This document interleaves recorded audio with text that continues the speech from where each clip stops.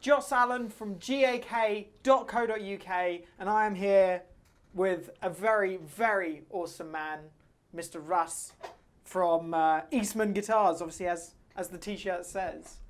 So, um, we're here today to essentially talk about Eastman, all things Eastman. Um, we'll talk about my Eastman, we're going to talk about Eastmans to come, Eastmans that are, um, and um, just the company itself. So obviously, Russ, introduce yourself to everybody, um, and then give us a little give us a little talk about what Eastman Guitars is. Yeah, sure. Um, so uh, Eastman Guitars, we started building. Um, well, actually, it, our history is in violin making. Okay. So we started making violins uh, 1992. Uh, and we make all of our instruments in Beijing. Cool. Um, we only make instruments for ourselves, and we have a workshop where everything is made by hand. So we, the only power tools we use are just uh, bandsaws to cut the initial blanks Okay. for instruments, and then everything else is finished by hand. So See, that's one of the most important aspects of this company, I think, isn't it? Yeah. I mean, as soon as people hear Chinese, the automatic reaction for people is affordable, more cheaper, Mhm. sort of beginner range sort of stuff. Yeah. You have to understand that there are there are luthiers in every single part of the world, you know, tucked away everywhere. And there are people that make handmade guitars in China as well, you know. So that's one of the beautiful things about Eastman to me is that all of their products are handmade. Yeah. So yeah, go on, continue. Yeah. So, uh, so we started off making violins, and then um, a few years later we progressed into making arch tops, uh, because the principles of carving uh, an archtop guitar is obviously rooted in the tradition of violins. Sure. So the jazz archtops started to make a little bit of a name for themselves, again as a real sort of high quality but affordable instrument. Yeah. And uh, as the company then progressed, we started making guitars. So we started making flat top guitars, and we started making our thin line series um, that, that you play there. Yeah. Uh, and the company's just progressed, and it's gone from strength to strength. Um, manufactured in Beijing, but we have offices in LA, Amsterdam, and then I look after everything UK based. Very cool. Very and cool living indeed. down here in sunny Brighton. Yeah, of course. Which is handy. Exactly, exactly. So, um, let me give you a quick talk about this guitar here. So, this guitar here, well, actually, you could tell me what what was the situation with this guitar? Because I know that I bought it from you guys. Yeah. I, th- I think I've had it. I can't even remember. I don't even know how long I've had it now. It's not a long time at all, but I have been. If you follow me on Instagram and stuff, you'll know that I'm playing this every single day of my life. It is absolutely astonishing how it came up and stuff. But there, this one in particular is only one off, isn't it? It's just It is, this yeah. one, Yeah. and that's because of the finish, right? Yeah, it's yeah, it's to do with the combination of the finish and the particular guitar. Okay.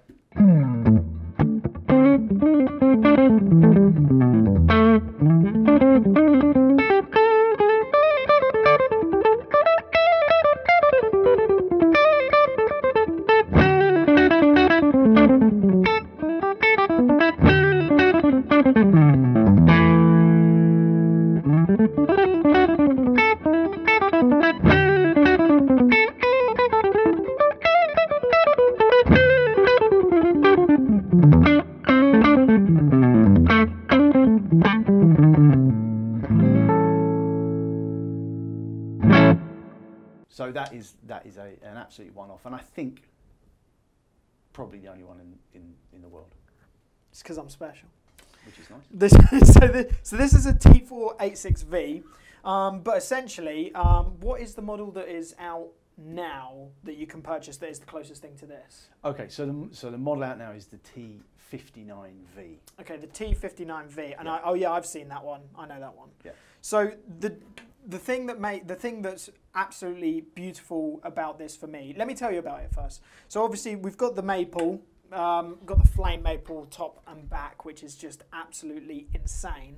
Um, but the the main thing for me is that this um, the guitars are either finished in a nitrocellulose or the violin lacquer, aren't they? Um, well, in that series, the In V, this the, the. V series, it will only be a violin lacquer. Okay, so this is finished in a violin lacquer. Obviously, as you heard Russ talk about the heritage of the company, you know, starting off with violins, I think it's an absolute insanely cool. And if you weren't to do it, silly idea not to finish the guitars in this finish Yeah. because the cool thing about it is that it's already started to started to age and start there's obviously I can't show you on camera yet because it's only a small amount but there's already lacquer cracking on the back of the body um, and it has this lovely sort of sticky sort of feel to it which is um, just makes you feel like it's to sort of come off over a sort of a small amount of time um, the guitar is loaded with Seymour Duncans um, I was told today, in fact, because I completely forgot, um, I've got a 59 in the bridge and a jazz in the neck. Yep.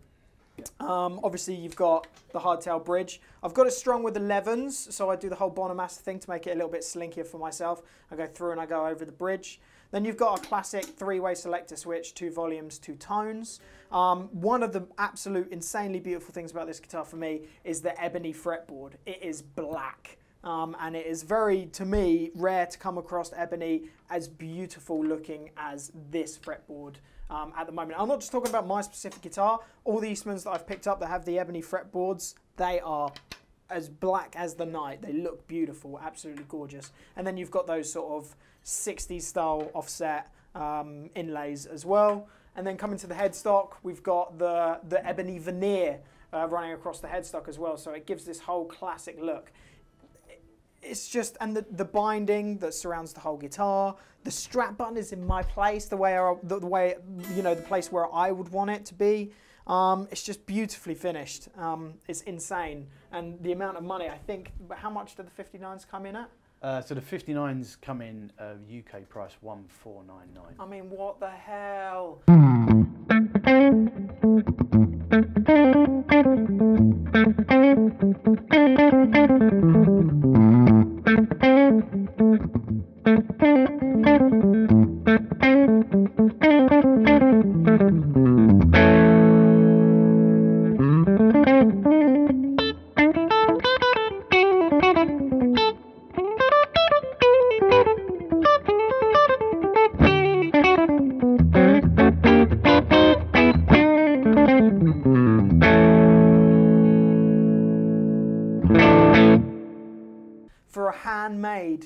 guitar for that price with the quality, the insanely good quality. Um, that's the reason why I bought one. Russ actually bought in the, you bought in the um, sort of the, the single cut models. What, what's what model's that? The S, the SB59. Oh, the SB59. The yeah, SB59s. which are the solid bodies. Yeah, the solid bodies. You bought those in, and I was like, what the hell? I was like, what the hell? Well, you definitely said something about another brand that we're not allowed to. Yeah, yeah, yeah. I did say something, and I, I, I will stand by that. Um, best single cut solid body guitar I have ever played. I'm not even joking. It was the best sounding and playing single cut style guitar I have ever played. Um, and it was in the violin burst finish as well. And you bought the tobacco, the no, what was it? The gold burst. Uh, the sunburst. The sunburst. Nitrocellulose Yeah. finish. So well. you had one in violin oil finish, and you had one in a um, a violin finish as well, and it was just insane with the Seymour Duncan Antiquities, right? Yeah. I was floored. But then we also played the thin line, was which was the 59 model, Which was wasn't the it? 59, yeah. Which was so the the- 59. So just to clarify, so the difference between this guitar um, and the 59 yeah. is that that is not a production model. No. Uh, the 59 is now a production model. Um, so construction-wise, virtually identical, but comes with the Seymour Duncan Seth Lovers, Okay. Um, both in the neck and the bridge. Yes. So you're getting a really, really great set of pickups Oh, on yeah. a great guitar that's hand built, custom finished, and because of the custom finishing, because of the hand, the nature of the hand rubbing of the violin finish, every single guitar is unique. Well, there you go. Yeah, exactly. So you are getting a custom shop. In effect, Yeah, yeah, you are. Yeah, essentially you are. What are the other companies of uh, pickups that Eastman use? So they use Seymour Duncan, and then what else was there that you've got going on? Yeah, so in our, in our most of our thin lines um, and our solid body guitars, we use Seymour Duncans. Yep. So we either use a combination of Jazz, 59, uh, Fat Cats, um, so the P90 size Yep. humbuckers, Yeah. um, or the Antiquities. Um, on our T386, which is the nitrocellulose model below the one that you've got. We Yep. use a set of Kent Armstrong pickups, Yeah. which are really lovely, get Yeah. a different tone. And then also on our T58V, we use TV Jones. Which is the next one that I want, right? Which is the, the one that you have at your house. One I have my house I was super bummed out. Russ came in on a scooter today, so I was super bummed out when I heard that he wasn't bringing that guitar with him. I was like, God, no! It's, the- it's the one that I want next, so that one's uh, Yeah. that one's on the list. That is.